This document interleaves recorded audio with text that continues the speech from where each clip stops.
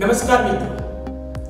Shri Maruti boys hostel Bandva આવનારા સમયમાં આ વિસ્તારમાં, આ પંથકમાં કંઈક એવું અદ્ભુત નૂતન બિલ્ડિંગનું નવનિર્માણ કરી રહી છે, જેમની ઝલક આપની સમક્ષ.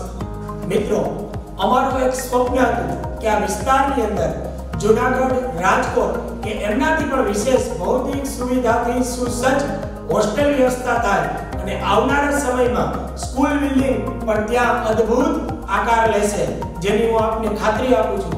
તેમ છતાં, આ વર્ષે અમે આ વિસ્તારને જરૂરિયાત એવું પ્લે હાઉસ શરૂ કરી રહ્યા છે જે પ્લે હાઉસ નાના નાના ભૂલકાઓ માટે હાલ અમે એલકેજી અને એચકેજી અમારી શાળાની અંદર વિદ્યાર્થીઓ અભ્યાસ કરી દીધા પણ અમુક વાલીઓના એવા પ્રશ્નો હતા કે સવાર પાડી હોય તો વિદ્યાર્થી માટે, નાના નાના ભૂલકા માટે અનુકૂળ રહે. તો આ વખતે અમે સવાર પાડીમાં સવાર પાડીની અંદર પ્લે હાઉસ એલકેજી એલકેજી શરૂ કરી રહ્યા. અને સૌથી મહત્વની બાબત કે સ્પર્ધાત્મક પરીક્ષાના વર્ગો એટલે મારુતિ કેરિયર એકેડમી. કે આ વિસ્તારમાં, આ વિસ્તારના વિદ્યાર્થીઓને ખૂબ જ આવશ્યક જરૂરી એવા સ્પર્ધાત્મક પરીક્ષાના વર્ગો પણ આ વર્ષે અમે ચાલુ કરી રહ્યા છે અને મિત્રો, હું આપને ખાતરી આપું છું, મારુતિ બોયઝ હોસ્ટેલ બાંટવા આવનારા સત્રથી નૂતન બિલ્ડિંગમાં પ્રારંભ થશે. અવનવી સુવિધાથી સજ્જ, સુસજ્જ લેબોરેટરી સુસજ્જ લેબોરેટરી, સુસજ્જ digital lab, computer lab, digital studio મારફત એજ્યુકેશન શિક્ષણ ડિજિટલ ક્લાસ આ તમામ સુવિધાથી નૂતન બિલ્ડિંગની અંદર આપણું શૈક્ષણિક કાર્ય સ્પર્ધાત્મક પરીક્ષાના વર્ગ પ્લેહાઉસ એલકેજી એચકેજી શરૂ થશે નૂતન બિલ્ડિંગમાં નમસ્કાર શ્રી મારુતિ શૈક્ષણિક સંકુલ બાંધવા ઓનલાઈન એજ્યુકેશનમાં ફરી એક વખત મિત્રો આપનું હાર્દિક સ્વાગત કરું છું. મિત્રો, આપણે અગાઉના બે લેક્ચરની અંદર ખૂબ જ મહત્વના પ્રશ્નોની ચર્ચા કરેલી છે, ખાસ કરીને જે આપણે આજે જે પ્રશ્નો જોવા જઈ રહ્યા છો, સત્યાવીસ, એ પહેલા છવ્વીસ પ્રશ્નોની આપણે ચર્ચા કરેલી છે. આ છવ્વીસ પ્રશ્નો ખૂબ જ મહત્વના છે. એમાં આડાવડા હું માત્ર તમને એના સોલ્યુશન અર્થે કહીશ, તો આપણે શરૂઆત કરી હતી, ત્યાંથી લઈને અહીં સુધી માત્ર રિવિઝન રૂપે શોર્ટમાં કહી દઉં. તો એબીસીડીમાં હુડા અક્ષરો, ની અંદર કેટલા અક્ષરો હોય છે ત્યાંથી આપણે શરૂઆત કરી હતી મિત્રો. આપ સૌ જાણો છો. ત્યાંથી લઈ અને ધીરે ધીરે આપણે પ્રશ્નસૂચક શબ્દોને કહેવામાં આવે છે. પ્રશ્નસૂચક શબ્દ ક્યાં હોય છે? સર્વનામ કેટલા? સર્વનામ ક્યાં ક્યાં? આર્ટિકલ કેટલા? આર્ટિકલ ક્યાં ક્યાં? આપ સૌ જાણો છો. તેમ છતાં મહત્વના ટોપિકની ચર્ચા કરી દઉં. તો જે વાત કરી હતી કે મૂળા અક્ષરોને અંગ્રેજીમાં આલ્ફાબેટ કહેવામાં આવે છે. આલ્ફાબેટ કેટલા હોય છે મિત્રો? 26 કેટલા હોય છે? 26 26 ની અંદર મહત્વની વાત પાંચ. પાંચ હોય છે સ્વર. સ્વરને અંગ્રેજીમાં વોવેલ્સ કહે છે.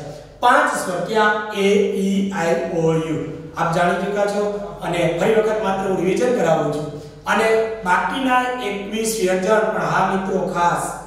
ભૂલશો નહીં. 21 ની અંદર મેં આપને ત્યારે પણ ટકોર કરી હતી ને આજે પણ વાત કરી દઉં છું કે વાય છે એ અર્ધસ્વર છે.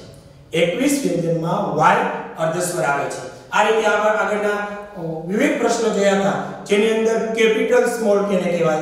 તો કે કેપિટલ અક્ષરો કોને કહેવામાં આવે છે? પ્રથમ એબીસીડીના અક્ષરને કેપિટલ અક્ષર અને જ્યારે બીજી એબીસીડીના અક્ષરને સ્મોલ કહેવામાં આવે છે, મિત્રો. આ ખાસ અંગ્રેજી લેંગ્વેજની અંદર, મિત્રો, સૌથી મહત્વની બાબત હોય તો ક્યારે કેપિટલ અક્ષર વાપરવો? ક્યારે સ્મોલ વાક્યની શરૂઆતનો પ્રથમ અક્ષર, મિત્રો કેપિટલ હોય છે. ખાસ. અને મેં એક્ઝામ્પલ આપ્યું હતું. ફરી વખત વન્સ મોર એ એક્ઝામ આપું this is a bag means this not T જે છે, એ આપણે કેપિટલ લખવામાં આવે છે. ત્યારબાદ ક્રિયાપદો કેટલા? એમની ચર્ચા કરી લઈ હતી. આપ સૌ મિત્રો જાણો છો. ક્રિયાપદો જેની અંદર am is are was were shall be will be do does did have has had etcetera આ બધા ક્રિયાપદો કહેવામાં આવે છે. ત્યારબાદ આપણે જોયું હતું સર્વનામ. સર્વનામ કેટલા? તો કે પાંચ. ક્યાં ક્યાં પાંચ? આઈ યુ હી સી એ ઓકે મિત્રો? આપ સૌ ભણી ચૂક્યા છો. હવે આપણે એ સર્વનામોની જે માહિતી ઉપર, મારા જે પ્રશ્ન ઉપર આપણે લઈ જવાનું માંગતો હતો, એ પ્રશ્ન એટલે બીજો કોઈ નહીં. આ પ્રશ્ન નંબર 27 મિત્રો, આપ સૌ જાણો છો, મેં હમણાં જ વાત કરી. ફરી વખત કે સર્વનામ 5 ત્યાર પછી સર્વનામ સાથે લગતું ડૂબીના ક્રિયાપદની આપણે ચર્ચા કરી હતી. આઈ નું બહુવચન વી યુ નું યુ હી સી અને ઈટનું દે અમની આપણે ચોક્કસ ચર્ચા કરેલી હતી. પણ હવે ત્યાંથી આપણે જ્યારે આગળ જઈશું ત્યારે મારે ખાસ કહેવાનું છે મિત્રો કે પ્રશ્ન નંબર 27 સર્વનામ તથા સંબંધક રૂપ દર્શાવો. સર્વનામની તો ચર્ચા કરી આપણે. આપ લોકો જાણ્યા છે કે સર્વનામ પાંચ છે I you he she it બરાબર? હવે મિત્રો, એ સર્વનામનું એક વચન, એની સર્વનામ પાંચ એટલે આપણે વાત કરી કે અંગ્રેજી પુરુષો કેટલા? તો કે ત્રણ. પ્રથમ, દ્વિતીય અને તૃતીય. ત્રણ પુરુષ, પહેલો પુરુષ, બીજો પુરુષ અને ત્રીજો.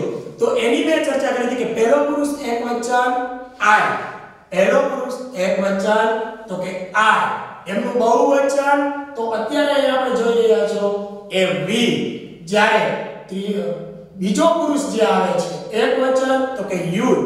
અને બીજો પુરુષ બહુવચન પણ યુદ્ધ થાય છે. મિત્રો, ખાસ આ વાત ભૂલવાની નથી કે પ્રથમ પુરુષ, દ્વિતીય અને તૃતીય. પણ એમ આપણે પહેલા જણાવી દીધા છે, અહીંયા તો એક વચન, બહુવચન તમામ સાથે સર્વનામો આપેલા છે અને એમની સામે એમના સંબંધક રૂપ આપેલા છે.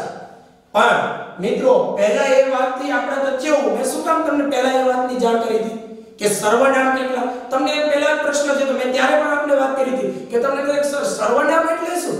મિત્રો સર્વનામ ક્યાં ક્યાં? એ મેં તમને એની માહિતી આપી હતી કે આઈ વી યુ સી ને તો કે આ બધા શું છે? પહેલો પુરુષ, બીજો પુરુષ, એમની પણ માહિતી આપી હતી. એમાંનો પહેલો સર્વનામ કેટલા? એ માહિતી મેં પહેલો પુરુષ, એ પછી આઈ આઈ એમનું સંબંધક રૂપમાં પણ મિત્રો, બહુ સ્યોર વાત છે કે સંબંધક રૂપનો ઉપયોગ ક્યાં કરવો?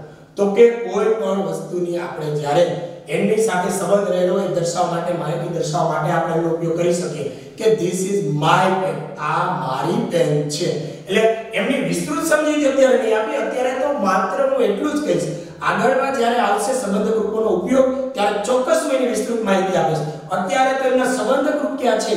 આ તો શોર્ટ હું તમને એટલું સમજાવી દઉં કે ક્યાં લાગુ પડે તો આઈ સર્વનામ આઈ આઈ નો સંબંધક રૂપ થાય છે માય. શું થાય છે? માય. આઈ નું સંબંધક રૂપ. તમારે અત્યારે કોઈ પણ વિચાર્યા વગર માત્ર એટલું જ કરતું જવાનું છે. હું સ્ટેપ બાય સ્ટેપ જે ક્વેશ્ચન લેતો જાઉં છું, એમાં આપણે જ્યારે 27 માં પ્રશ્ન સુધી પહોંચ્યા છે મિત્રો, ત્યારે તમારે એટલું જ વિચારતું જવાનું છે. એના સિવાયનો વિચાર કરવાનો થતો નથી. આઈનો સંબંધક રૂપ થાય છે માય. વી. જ્યારે પહેલો પુરુષ બહુવચન વી વી નું સંબંધ ગ્રુપ તો કે વી થશે અવર માત્ર અત્યારે એટલો જ મનમાં વિકલ્પ. કોઈ આપણને પૂછે કે આઈનું સંબંધ રૂપ શું થાય? તો અત્યારે તમારે કહેવાનું માય એમનો ઉપયોગ શું? એ હું પછી શીખવાડીશ. પણ અત્યારે માત્ર એટલું મગજમાં રાખવાનું. વી વી નું group our O U R હવે નેક્સ્ટ આ બંને આવે છે પ્રથમ પુરુષ. એક વચન અને બહુવચન. હવે યુ યુ છે તો યુ સંબંધ ગ્રુપ થશે યોર વાય ઓ યુ હવે અત્યારે આપણે શું શીખી રહ્યા કે આનું સમાજક ગ્રુપ તો કે માય, વી વી નું અવર, યુ યુ નું થશે યોર. આગળ, ત્રીજો પુરુષ એક વચનની અંદર આવે છે, હી, સી અને હી હીનું સમાજક ગ્રુપ શું થાય? યાદ રાખવાનું, હિટ, એચ, આઈ, એસ. જ્યારે સી સી નું સમાજક ગ્રુપ થશે હર અને ઈટ ઈટનું સંબંધ થશે ઇટ્સ અને લાસ્ટ ત્રીજો પુરુષ બહુવચનમાં આવે છે તે ધેયનું સંબંધક રૂપ થશે their T H E I R. Right, આ બધા છે સંબંધક રૂપો, આ છે સર્વનામ, એટલે સર્વનામના સંબંધક રૂપો. વિશે આપણે માહિતી મેળવી પ્રશ્ન નંબર 27 પ્રશ્ન નંબર 28 યાની કે 28 અંગ્રેજીમાં એકવચન અને બહુવચનને શું કહેવાય છે? હંમેશા આ લોકોને હજી પહેલા એક પ્રશ્ન થશે કે થાય સ્વાભાવિક છે, જો આમ તો આ પરિચિત જ હોય કે એકવચન શું અને બહુવચન શું. પણ મિત્રો, છતાં આપણને માહિતગાર કરી દઉં છું આ બાબત ઉપર કે એમની માહિતી અત્યારે મેં ફરી વખત વારંવાર રિપીટ કરતો જવાનો અર્થ એ છે કે તમને એવો ક્વેશ્ચન ઊભો ન થાય કે આ એકવચન શું, બહુવચન, અત્યારે માત્ર એટલું જ જાણવાનું કે અંગ્રેજીમાં એક વચનને શું કહેવાય? ત્યારે મિત્રો યાદ રાખજો, એક વચનને સિંગ્યુલર શું કહેવાય છે? Singular S I N G U L singular એનો ઉચ્ચાર આપેલો છે. કોને? એક વચનને સિંગ્યુલર કહેવામાં આવે છે. અને જ્યારે બહુવચન છે, બહુવચનને શું કહેવાય? તો કે પ્લુરલ પ્લુરલ એટલે બહુવચન. આ આપણે માત્ર અત્યારે એટલી જ માહિતી મળવાની છે કે એકવચન અને બહુવચનને અંગ્રેજીમાં શું કહેવાય? એના વિસ્તૃત નિયમ આપણે પછી સમજીશું. અંગ્રેજીમાં કુલ કેટલા કાર છે? અંગ્રેજીમાં સૌથી ઇમ્પોર્ટન્ટ વસ્તુ, તો પહેલા મારા જેટલા ક્વેશ્ચન હશે માઇનોર એક એક ક્વેશ્ચનની અંદર આપણે એબીસીડી થી લઈ અને છેક કાર સુધી થી લઈ અને છેક વિરામ ચિહ્નો સુધી પહોંચશું મિત્રો.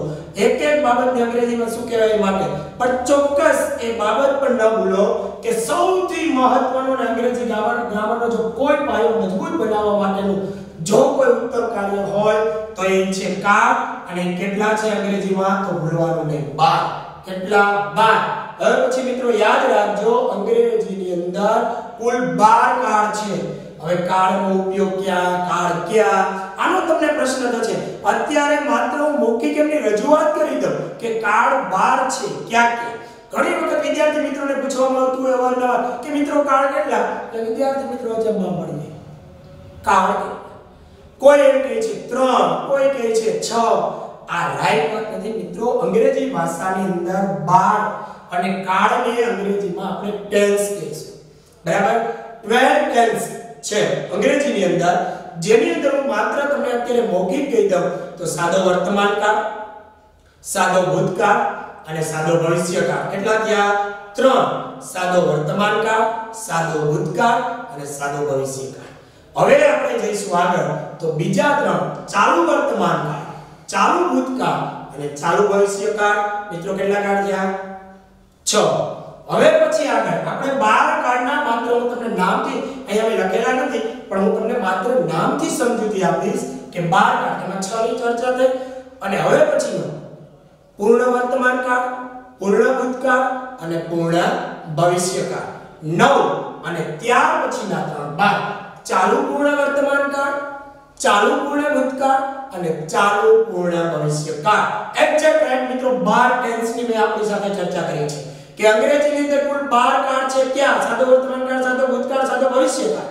ચાલુ વર્તમાન કાળ, ચાલુ ભૂતકાળ, ચાલુ ભવિષ્યકાળ. પૂર્ણ વર્તમાન કાળ, પૂર્ણ ભૂતકાળ, પૂર્ણ ભવિષ્યકાળ. અને ચાલુ પૂર્ણ વર્તમાન કાળ, ચાલુ પૂર્ણ ભૂતકાળ અને ચાલુ પૂર્ણ ભવિષ્યકાળ. આ છે અંગ્રેજીમાં બારકામ ખૂબ જ મહત્વના. અંગ્રેજી ગ્રામરમાં ખૂબ જ મહત્વના મુદ્દાઓની અંદર આ પણ એક છે. પણ મિત્રો આગળના એક પણ મુદ્દા ચૂકવાના નથી. જેથી જે દ્રષ્ટિએ આ જોઈ રહ્યા છો, મેં કાલે વાત કરી હતી કે માતૃભાષાની તુલ્ય આપણે આંતરરાષ્ટ્રીય કક્ષાએ જોડાણ કરવા માટે મિત્રો અંગ્રેજી એટલું જ જરૂરી છે. પણ આપણા વિદ્યાર્થીની અંદર કાંઈક ને કાંઈક એવો ભ્રમ રહેલો છે કે અંગ્રેજી અઘરું છે. ના મિત્રો, સચોટ અને શ્યોર આપણું રિઝલ્ટ આવશે અને આ ગ્રામર જે આપણે શીખી રહ્યા છે એનું પરફેક્ટ એક એક મુદ્દાની ઝીણવટ અભ્યાસ કરતા જશો એટલે ચોક્કસ. તો ત્યારબાદનો પ્રશ્ન આપણે આવશે 23મો સોરી 30 30મો પ્રશ્ન અપોસ્ટ્રોફી એસ નો મતલબ શું થાય છે? નાની નાની બાબત અંગ્રેજી ગ્રામરની અંદરથી આપણે ક્વેશ્ચન રૂપે બનાવી અને આપણે સમજવા માટે આપણે રજૂ કરીએ છીએ. તો અપોસ્ટ્રોફી એસ એટલે ક્યાંય પણ કોઈ પણ સેન્ટેન્સમાં આ રીતે એસ કરવામાં આવેલો હોય, ત્યારે તમે થોડાક એમ અચંબામાં પડી જાવ કે શું હશે, ત્યારે આ જે એસ કરવામાં આવેલો છે, એને કહેવામાં આવે છે અપોસ્ટ્રોફી એસ જેમનો અર્થ થાય છે નો ની નું ના. હજી યાદ રાખજો મિત્ર, આ જે એસ છે, એને આ રીતે જે કે શીખવામાં આપેલો હોય છે, એને અપોસ્ટ્રોફી એસ કહેવાય છે. એ અપોસ્ટ્રોફી એસ નો અર્થ થાય છે નો, ની, નું, ના. અત્યારે માત્ર એમનો અર્થ સમજ્યું વિસ્તૃત એમનો કઈ રીતે ઉપયોગ થાય? માત્ર ને માત્ર આ જે કઈ ક્વેશ્ચનો છે, જાણકારી માટે છે. ક્યારે શરૂઆતમાં કોઈ પણ ગ્રામરના ટોપિકની અંદર એવો સંકેત આવે કે આવી રીતે એસ આવે તમે મૂંઝાઈ ન જાવ શું છે? એટલે પહેલા માહિતી આપ દઉં કે એપોસ્ટ્રોફી એસ કહેવાય અને એમનો અર્થ થાય. મિત્રો, ત્યારબાદ સામાન્ય વાત કરીએ ધીસ અને ધેટ નો ઉપયોગ. This T H I this normal પ્રશ્ન છે, તમને તો ધીસ નો ઉપયોગ આવડતો સામાન્ય રીતે ઘણા બધા વિદ્યાર્થીઓ ભૂલ કરતા હોય. પણ નજીકની વસ્તુ દર્શાવવા માટે ધીસ નો ઉપયોગ થાય છે જ્યારે દૂરની વસ્તુ દર્શાવવા માટે that અને નજીક માટે this this છે એનો ઉપયોગ ક્યાં થાય? તો કે નજીકની વસ્તુ દર્શાવવા માટે this નો ઉપયોગ થાય છે. જ્યારે that છે એનો ઉપયોગ ક્યાં થાય છે? તો કે દૂરની વસ્તુ દર્શાવવા માટે સિમ્પલ એક એક્ઝામ્પલ લઈ લઈએ કે આ કે માર્કર છે મારી પાસે જો આ માર્કર મારી નજીક પડેલી છે. તો હું એને એ રીતે કહી શકું, આવી જ રીતે મારી પાસે પેન હોય, તો કહે ધીસ ઇઝ અ પેન કારણ કે મારી નજીક હોય, તો એ ધીસ વાપરી શકાય. પણ કોઈ વસ્તુ મારાથી દૂર હોય, તો મારે એ જ પેન મારાથી દૂર હોય કે કોઈ તો ધેર ઇઝ a book. એવું શું કામે કે દૂરની વસ્તુ દર્શાવવા માટે ધેર એટલે ક્યારે પણ અંગ્રેજીમાં વાક્ય રચના કરવી હોય, ત્યારે પહેલા આપણે વિચારી લેવાનું કે દૂરની વસ્તુ માટે ધીસનો પ્રયોગ સોરી દૂરની વસ્તુ માટે that નો અને નજીકની વસ્તુ માટે this. ઓકે હવે આપ સમજી ગયા છો કે this ક્યારે વપરાય છે અને ધેન ઓકે હવે આપણે પ્રશ્ન ઉપર જઈશું. ધીરે ધીરે એક એક સ્ટેપ લઈશું. આપણે મૂળા અક્ષરોથી લીધું છે મિત્રો. આજે આપણે જ્યારે આ ત્રીજું લેક્ચર ભણી રહ્યા છીએ, મારી દૃષ્ટિએ ત્યારે આપણે 33 માં ક્વેશ્ચને પહોંચ્યા કે આપણે એબીસીડી થી લઈ અને અત્યારે પહોંચ્યા છે કે વાક્ય કોને કહેવાય?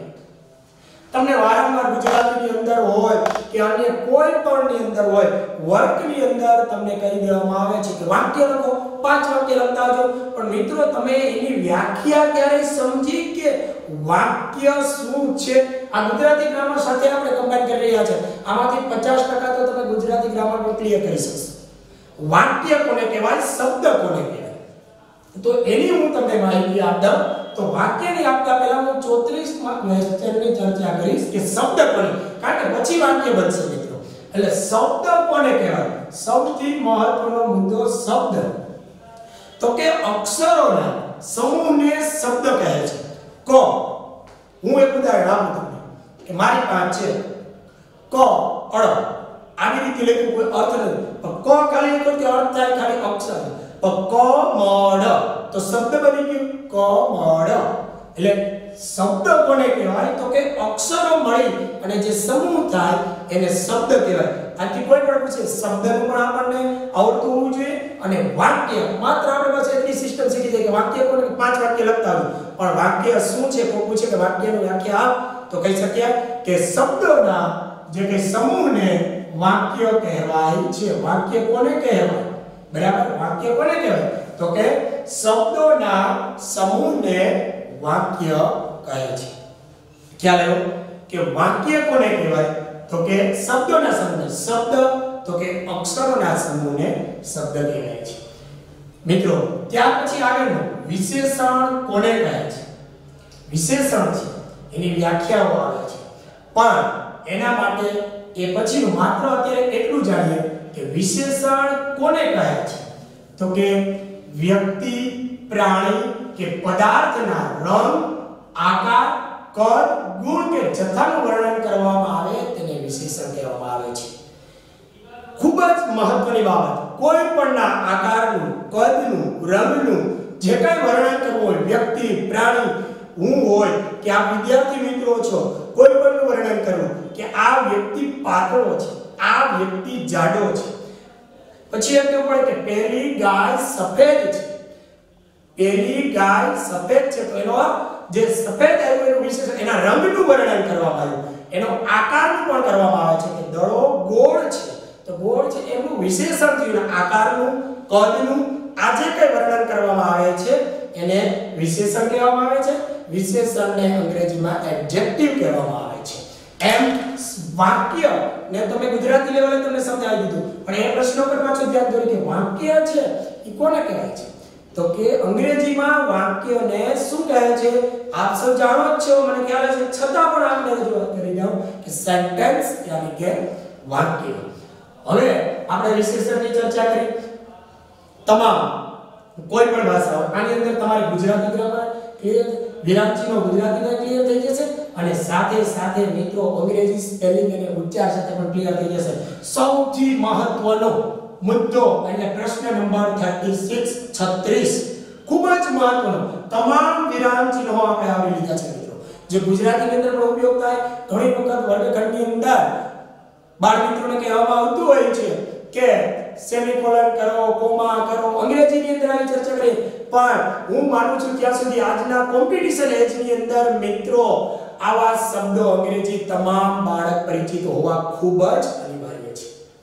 મિત્રો, આવા શબ્દો સાથે આ કાયમ માટે સળંગ અમે વારંવાર ચાલુ શૈક્ષણિક સંસ્થાએ પણ આપ શ્રીને પ્રાર્થના સભા હોય કે અન્ય બાબતો હોય, એમની અંદર વારંવાર રજૂઆત કરતા હોઈએ છીએ કે તમે મોટે ભાગના વર્ડ્સનો, ઇંગ્લિશનો યુઝ કરો.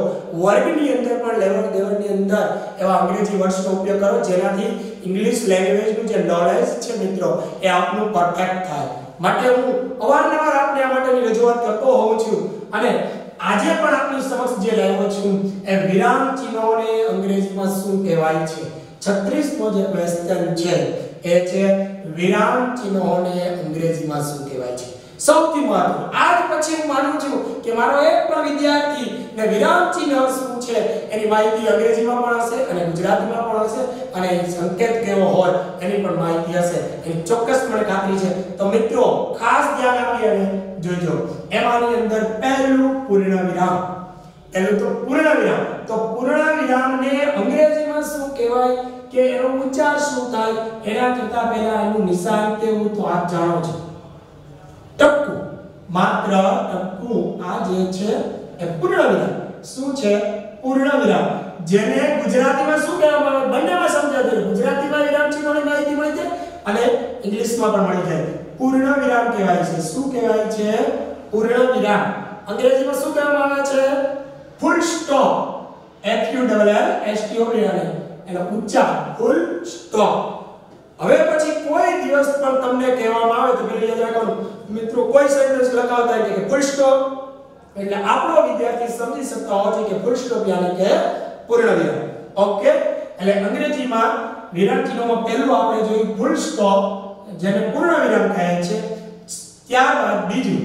કે વારંવાર આપણે એક એક એવી એકથી વધારે વસ્તુઓ દર્શાવીએ, ત્યારે જે શબ્દ મૂકવામાં આવે છે. એને ગુજરાતીમાં કહે છે અલ્પ વિરામ આપણી સામે છે. આને કહેવાય છે અલ્પ વિરામ અલ્પ વિરામ જેને કહેવામાં આવે છે. કોમા? હજી કંઈક અધૂરું સૂચવે છે. હજી કંઈક આગળ છે એવું આપણને સૂચવવા માંગે છે. અને અંગ્રેજીમાં કહેવાય કોમા. કોમા એટલે કે આપણે લખાવી કે લખો, અમુક શબ્દ લખાવો તો તમને લખાવતા હોય કહેતા કોમા કોમા, એનો મીન્સ કે હજી આગળ તમારે લખવાનું છે, અધૂરું છે એનું સૂચન કરે છે, અને એ છે કોમા. એવી જ રીતે અલ્પવિરામ, અર્ધવિરામ. અર્ધવિરામ કેવું હોય છે? તો કે અલ્પવિરામ માથે ટકવું જુદી જુદી ભાષા લેંગ્વેજની દ્રષ્ટિએ જુદા જુદા પ્રકારના વિરામ ચિહ્નો મૂકવામાં આવતા હોય છે. એમાં જે આપણે જોયું ફૂલ સ્ટોપ કોમા, હવે એમની અંદર અર્ધવિરામ. અર્ધવિરામ, યાની કે સેમિકોલન જેને શું કહેવામાં આવે છે? અંગ્રેજીની અંદર ઉચ્ચાર જોઈ લ્યો. સેમિકોલન એનું સ્પેલિંગ છે semicolon E C M I C O L O N semicolon અર્ધવિરામ, આને એનો અર્ધવિરામની સંકેત હવે યાદ રાખજો. અલ્પવિરામ જેવું અને માથે ટપકું આ યાદ રાખવાનું. ત્યાર પછીનો આપણો મુખ આવે છે વિરામ, યાની કે બીજી ભાષામાં ગુરુ વિરામ પણ આપણે કહી શકીએ. વિરામ કે ગુરુ વિરામ, જેની અંદર બે ટપકા હોય છે. વારંવાર મિત્રો તમામ જે કઈ સંકેત હોય છે, એનાથી આપ માહિતગાર તો ચોક્કસ છે પણ પ્રશ્ન ક્યાં મૂંઝવતો હશે?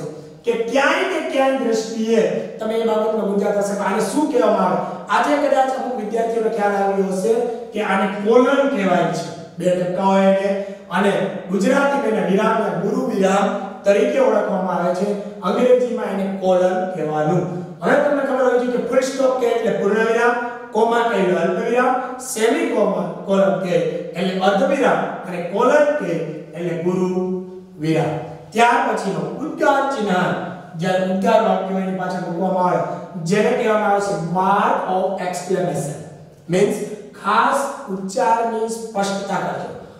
Mark of exclamation means mark M A R K O M exclamation E X C L A M A T I O N. Exclamation ખાસ ઉચ્ચાર યાદ જેને, જેનો સંકેત છે ઉદ્ગાર ચિહ્ન આપ સૌ જાણતા હશો કે ઉદ્ગાર ચિહ્ન કોને કહેવામાં આવે છે? જે છે ઉદ્ગાર ચિહ્ન ત્યાર પછી અમુક વસ્તુની અંદર આપણે ડેશ કરીએ. અંગ્રેજીમાં બોલીએ ડેશ. આ શબ્દ ઘણો બધો પરિચિત થઈ ચૂક્યો છે. એટલે અંગ્રેજીની અંદર લગભગ બોલવામાં આવે છે કે ડેશ. કરો બરાબર? જેને કહેવામાં શું આવે છે? અમુક શબ્દ એવા પણ હોય છે, મિત્રો, કે આપણને એમનું અંગ્રેજી આવડતું હોય. પણ ઘણી વખત એનું ગુજરાતીથી આપણે અધૂરા હોય. ઘણી વાર આપણે ઓકે ઓકે કરતા હોય બરાબર શબ્દથી જ વાંધો એની જેમ આ જે ડેશ છે એને લઘુ રેખા કહેવામાં આવે છે. ગુજરાતીની અંદર શું કહેવામાં આવે છે? લઘુ રેખા કહેવામાં આવે છે, અને જે છે આપણી સમક્ષ ડેશ. જે આ રીતનો સંકેત હોય છે, એને ડેશ કહેવામાં આવે છે. અવતરણ ચિહ્ન ઘણી વખત કોઈ મહત્વના મુદ્દાઓ હોય છે, એને લખવા માટે આપણે અવતરણ ચિહ્નનો ઉપયોગ કરીએ. જે ચિહ્નો આપણી સામે છે ઘણીવાર ડબલ હોય છે ઘણીવાર સિંગલ હોય છે.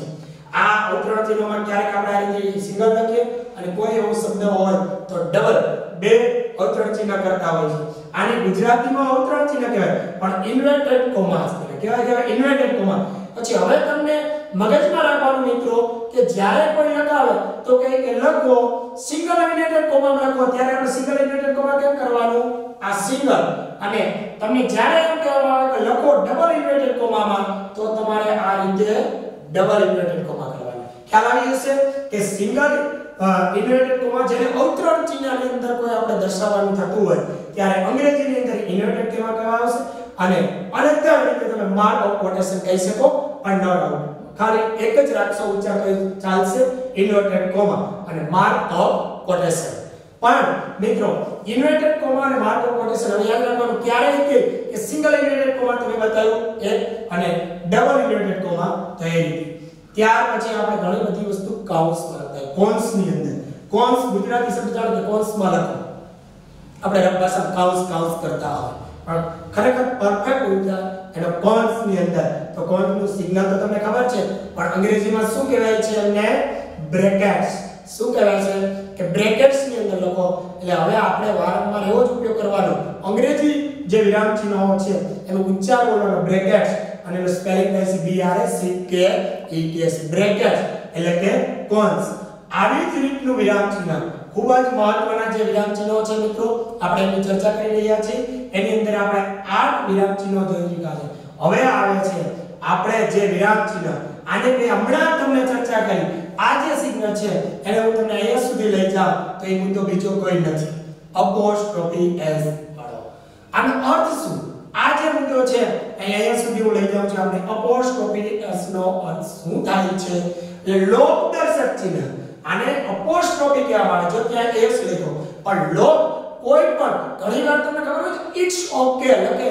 તો કોઈ પણ નું આમાં અપોસ્ટ્રોફી એસ બતાવ્યો. એટલે આનો અર્થ આપણે નથી લેવાનો, પણ આવું સિગ્નલ બતાવ્યું કે હું અહીં સુધી લઈ ગયો. આ અર્થ આખો જુદો છે અને આ એક જુદો સાથે એસ બતાવ્યો છે એવું એટલા માટે અહીં સુધી લઈ ગયો છું. બાકી આ જે છે, એ તો અપોસ્ટ્રોફી એસ છે. એનો અર્થ નો નહીં થાય. અહીંયા તો આવી રીતે આ તો અપોસ્ટ્રોફી લખ્યું છે એસ પણ એ લોભ છે ને, કોઈ પણ ઘણા બધા એવા શબ્દ હોય કે શબ્દની અંદર તમે લોપ કરીને પણ વાક્ય બનાવી શકો. પણ જો એ વાક્ય સ્પેલિંગ નો પૂર્ણ ન લખો હોય, ત્યારે આ ચિહ્ન મૂકી દો એટલે આને ઘણીવાર ઇટ્સ ઓકે લખેલો. It's okay it is okay એટલે ઇઝનું લોપ કરવા માટે એ લોપ ચિહ્ન આપી દો એટલે એક અક્ષરનો લોપ કરી શકો તમે. આ માટે હોય છે આ લોપ દર્શક ચિહ્ન. ટપકા. પછી બીજું ડોટ ડોટ ઈજી ડોટ ડોટ આપણે જે તબકા જે રીતે આપણે કરવું હોય ટપકા એને માટે આપણે ડોટ્સ હોય છે. ડોટ્સ કહેવામાં આવે છે અંગ્રેજીમાં. હવે મિત્રો, અહીંયા ક્વેશ્ચન નંબર 37 જોતા પહેલા ખૂબ જ મહત્વના પ્રશ્નોની આપણે ચર્ચા કરી છે મિત્રો. જેમની અંદર આપણે તમામ સર્વનામ, એમના સંબંધક રૂપો જેમના વિશે આપણે ચર્ચા કરી કે સર્વનામ કોને કહેવામાં આવે છે એ મેં આપણે પહેલા જણાવ્યું હતું. પછી એમના સંબંધક રૂપો, ત્યારબાદ અંગ્રેજીની અંદર એકવચન અને બહુવચનને શું કહેવાય? તે જોયું. ત્યારબાદ અંગ્રેજીમાં કુલ કેટલા કાળ હોય છે?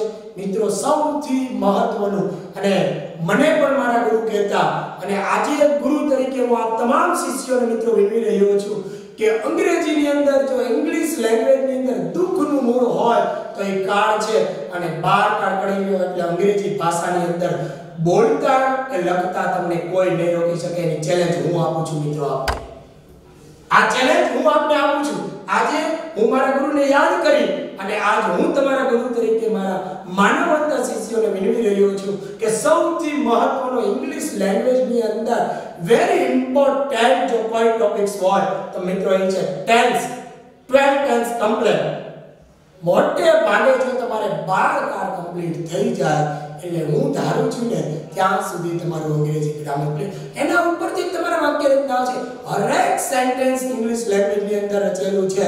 એની અંદર ક્યાંય ને ક્યાંય ક્રિયાપદ રચેલું છે. ક્યાંય ને ક્યાંય કર્તા છે. ક્યાંય ક્રિયાપદ છે. ક્યાંય સહાયકારક ક્રિયાપદ છે. ક્યાંય નાઉન્સ છે. ક્યાંય એડજેક્ટિવ છે. મિત્રો, વિવિધ પ્રકારથી આવી લેંગ્વેજની જે રચના છે એની અંદર સૌથી મહત્વનો ટોપિક્સ હોય તો ટેન્સ પણ ટેન્સ કરતા પહેલા એ ન ચૂકતા કે હું આજે ત્રીજા લેક્ચર સુધી સતત હજી ચર્ચા કરી રહ્યો છું આપની સમક્ષ. એ મહત્વના તમામ પ્રશ્નો છે. એને ન ચૂકતા. એ જો યાદ રાખી શકશો, તો જ તમને ટેન્સની અંદર ટપા પડશે અને ટેન્સની અંદર ક્યાં આવશે? ત્યાં સુધી તો ટેન્સ સમજાય. એમાં જ આવશે ક્રિયાપદ. તો ક્રિયાપદ એટલે ટેન્સ શીખતા પહેલા હજુ આપણે ઘણું બધું શીખવાનું છે. પણ હું તમારી સાથે છું. માત્ર તમારે મારી સાથે તાલ મિલાવી અને ચાલવાનું છું.